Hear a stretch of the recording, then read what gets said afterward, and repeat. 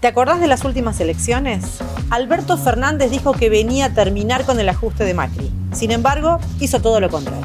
Desde antes de la pandemia recortó las jubilaciones y luego siguió pagando la deuda a costa de los salarios, permitió los despidos y recortó la asistencia a la población afectada por las cuarentenas.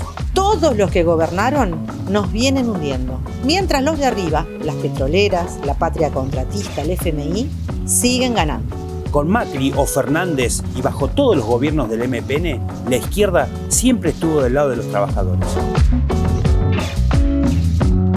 Ahora presentamos la lista Unidad de la Izquierda, el único frente de izquierda en estas elecciones.